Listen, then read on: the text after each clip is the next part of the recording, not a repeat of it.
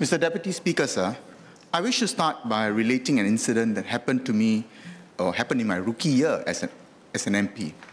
I was having a cup of tea with honorable members at a table in the members' room. From the corner of my eye, I saw the Prime Minister entering the room and walking to us.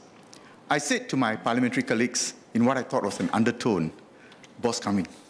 After sitting down beside me, Prime Minister turned to me and said, I'm not your boss. Thinking back, what the Prime Minister said profoundly captures the essence of the relationship between a backbencher MP of the governing party and the political office holders. As MPs of the governing party, we are not subordinates of the ministers. On the contrary, we have an important responsibility in scrutinizing government action and holding ministers to account. It is worth reminding ourselves that structurally, we are independent and free to express our thoughts in this House on matters that affect our constituents and Singaporeans. The principle of collective responsibility that binds the Cabinet does not extend to backbenchers of the governing party. Of course, we have to abide by the whip in voting according to party platform. That's a separate matter involving party discipline, and that applies to opposition MPs too. My party colleagues and I in the backbench take this responsibility of holding ministers to account seriously. We engage ministers through correspondence, face-to-face meetings, and party caucuses. We also do this through the parliamentary processes, particularly by filing parliamentary questions and motions. This provides an added advantage, the sunlight of scrutiny of government action, something honourable members know I have advocated for in this House not too long ago. There's therefore a healthy tension in the relationship between us. It's not at all personal. On one hand, as MPs, we accord the minister, his office, and ministry with respect. At the same time, the minister takes our feedback seriously. He knows we cannot be browbeaten. He knows that we will not hesitate to pursue issues important to our constituents and fellow Singaporeans. This is how we prevent groupthink and the creation of echo chambers within the PAP.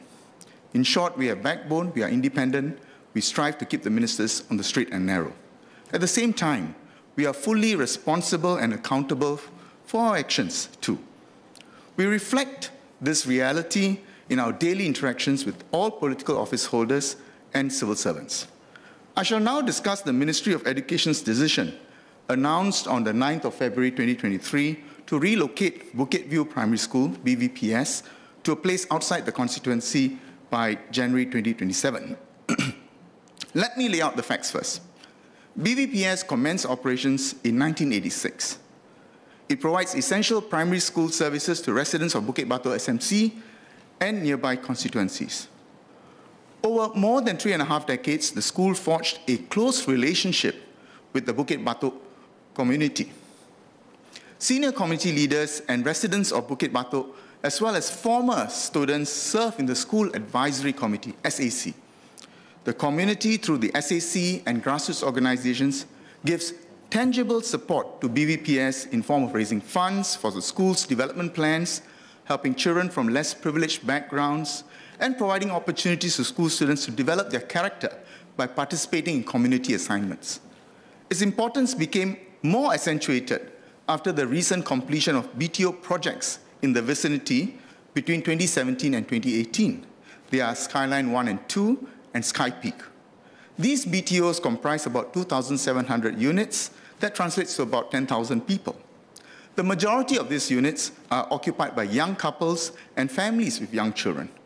In fact, BVPS was specifically used to advertise the desirability of these BTO flats in HDB brochures.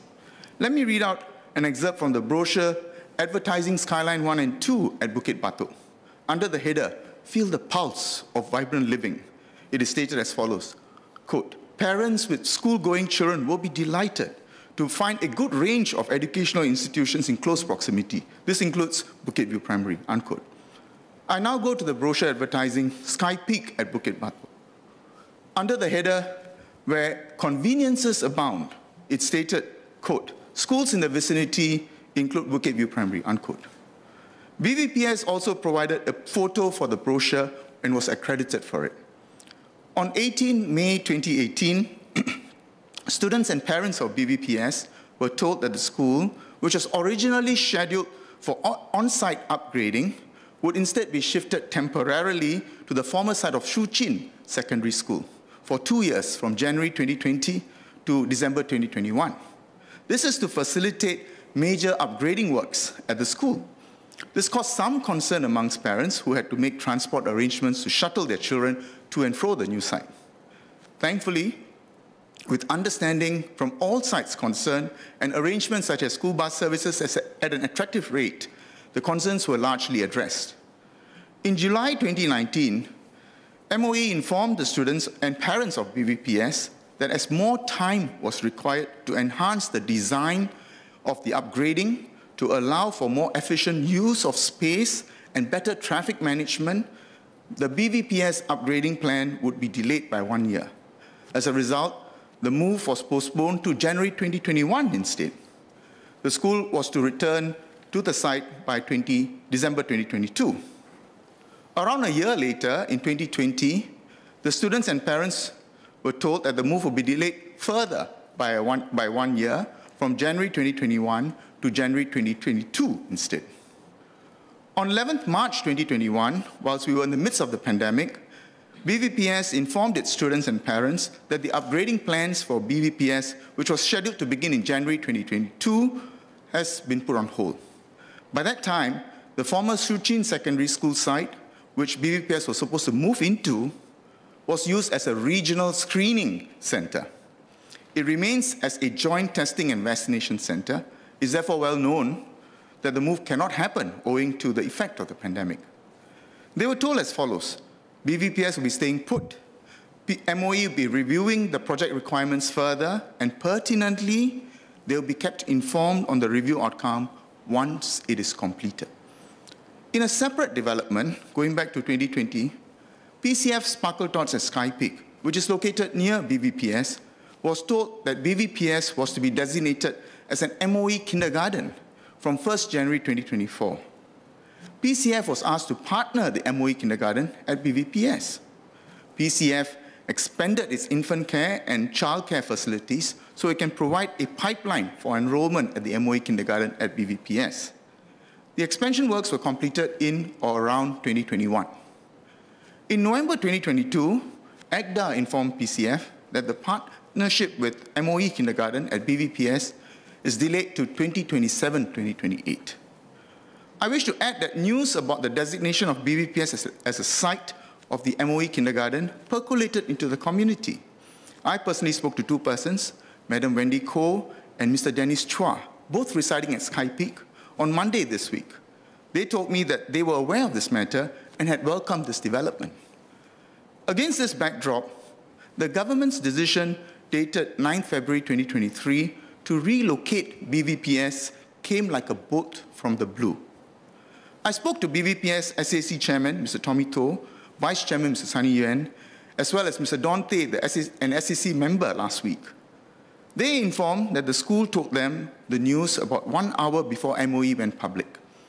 Mr. Tommy Toh, an old boy of the school, who also got his two daughters to attend the same school, expressed that he was, quote, shocked, unquote, at the decision. He felt that the SAC should have been consulted and its views solicited as a key stakeholder. Mr. Don Tay felt the same way and informed that he does not fault the principal of the school, as she told him she too got to know of the decision without much prior notice. I learned about the matter on the same day of the announcement. So my first question to the Honourable Minister is simply this. Against the backdrop of the facts I outlined, why was there no consultation? We are not dealing with an urgent matter that requires decisive action such as defending the Singapore dollar. We are not also dealing with a market-sensitive matter such as increasing stamp duty to buy properties. On the contrary, we are dealing with a decision to withdraw essential educational services from a neighborhood. Surely there should be consultation amongst the affected residents, parents, SAC members, and other stakeholders. This was the point that several residents made to me. Mr. Jeremy Ng and his wife are a young couple. They reside at Sky Peak. They moved in around 2018. They're trying to have children. They also have a five-year-old nephew whom they're taking care of. Their decision to purchase a unit at Sky Peak was influenced by the fact that there will be primary school services within walking distance. This was what was represented in the HDB brochures. One of the schools in the vicinity, Keming Primary School, Keming, is perpetually full by phase 2C. Hence, BVPS provides an important assurance that they will be able to secure a primary school place within walking distance from their home. Another person, Madam Linda Chong, also a Sky Peak resident, has two children, aged 19 months and 5 years respectively. Her elder child was born in the same year she moved into Sky Peak, 2018. She's naturally concerned about the lack of MOE kindergarten and primary school facilities within walking distance once BVPS moves out. In fact, I wonder if the Honourable Minister's attention was drawn to the representations made in the HDB brochures, ECDA's communication about, CP, about PCF Sparkle Tots, partnering the MOE kindergarten at BVPS, as well as prior communication to the parents at the time when the decision to relocate BVPS was made. If not, this is precisely why a consultation with stakeholders would have helped. In comparison, I note from a Mothership article dated 10 February 2023 that the government was in consultation with ACS Board of Governors for a year before the announcement to move ACS to Tengah was announced also on the 9th of February 2023. I appreciate that there are differences in details of the two moves, but both are relocations of schools which are important community nodes. My second question is, why were there so many flip-flops on what to do with BVPS within a short span of time, even accounting for the effect of the pandemic? Respectfully, it doesn't give people confidence that MOE is on top of the matter and has made proper plans for the future. Such relocations, when not given proper notice, causes real hardship to families. This point was raised to me by Mr. Nazri, whom I met at a house visit just last week. He and his wife have two children. The elder child, a daughter, is in primary one at BVPS. They had originally attempted to get a place for her at Princess Elizabeth Primary School, PEPS. The Honourable Minister would know that the local demand for primary one places at PEPS has shot up significantly after the completion of housing developments in a neighbouring constituency. It is not surprising, therefore, that they failed to be balloted a place at PEPS, even though they were living close by. They therefore enrolled her in BVPS, which was about 1.5 kilometers away. Fortunately, Mrs. Nazri's mother is living nearby and therefore is able to take care of his daughter while he and his wife are working. By 2027, however, when the school is due to move to a new site, which is at, which is at least two kilometers away, she'll be in primary five. Both Mr. and Mrs. Nazri are concerned that the move will further inconvenience them, and I fully appreciate their angst.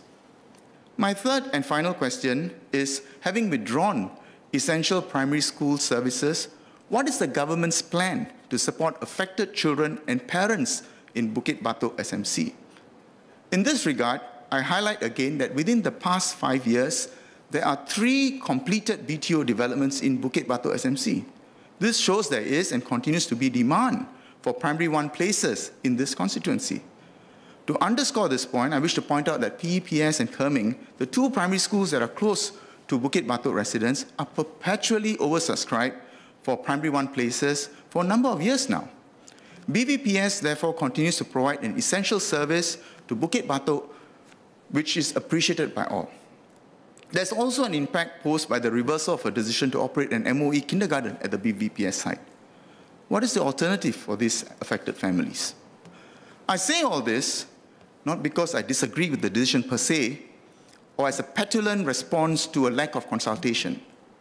If I, the SAC members, affected residents, and parents had nothing of value to add, if the discussion would have yielded no additional insights, if there were no people who acted in reliance of certain facts which are now changed, if all these were the case, it is perfectly fine that we learn of this ex post facto.